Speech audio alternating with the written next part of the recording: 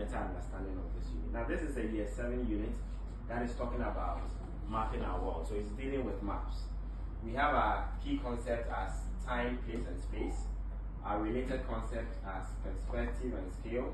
And then our global context, orientation in space and time. Statement of inquiry says, my maps provide insight into time, place, and space and show the world and show how the world has changed over time, but they can be affected by different perspectives. So the first activity we would like to do is something that touches on our key concept, time, place, and space.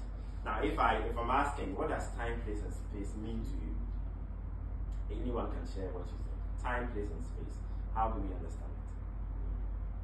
Mr. Fano, do you want to be a risk taker?